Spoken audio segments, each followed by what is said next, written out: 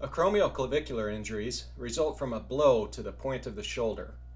This is especially common among young, active people who sustain sports injuries, such as a fall onto the shoulder. The injury results in immediate pain. While the entire shoulder may hurt, pain eventually localizes to the acromioclavicular joint. Some people seek care after noticing a deformity. The shoulder is tender at the acromioclavicular joint. There is frequently a deformity at the AC joint caused by the prominent end of the clavicle where it is separated from the acromion. Allowing the arm to hang freely puts tension across the damaged ligaments and causes pain.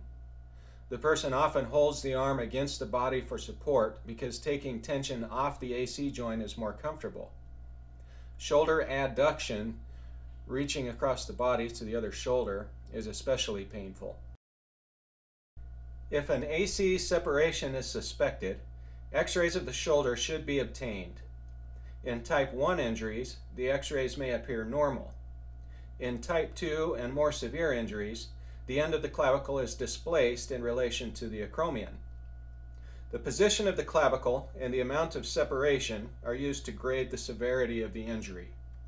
Sometimes a stress view is helpful.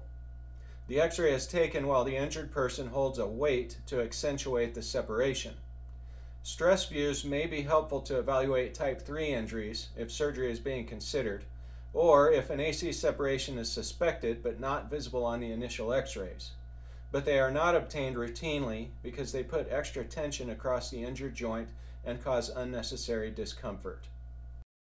Type 1 AC injuries occur when the acromioclavicular ligament is stretched and partially torn, but not completely disrupted.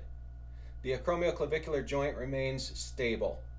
The arm is placed in a sling to put the shoulder at rest. Ice is applied to the AC joint as needed. Over the next one to two weeks, shoulder range of motion can be advanced as tolerated and sports can be resumed. Type 2 AC injuries occur when the acromioclavicular ligament is completely torn. This allows more movement at the AC joint and the elevation of the clavicle is more evident on x-rays. The arm is placed in a sling or shoulder immobilizer for two to four weeks. Range of motion exercises can begin at that time but strenuous shoulder activity is avoided for 6 to 12 weeks.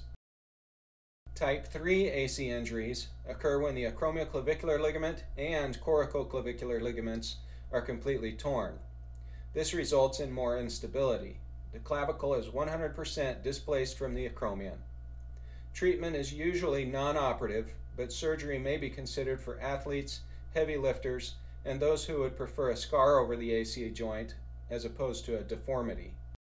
Type 4 AC injuries occur when the ligaments that stabilize the acromioclavicular joint are completely torn and the clavicle is pushed backwards into the trapezius muscle. This injury requires surgical repair. Type 5 AC injuries occur when the ligaments that stabilize the acromioclavicular joint are completely torn and the deltoid and trapezius muscles are torn away from the clavicle. The scapula droops downward, preventing the shoulder from healing. This injury requires surgical repair. Type 6 AC injuries occur when the ligaments and muscles that stabilize the acromioclavicular joint are torn and the clavicle is dislocated and lodged underneath the coracoid. This injury requires surgical repair.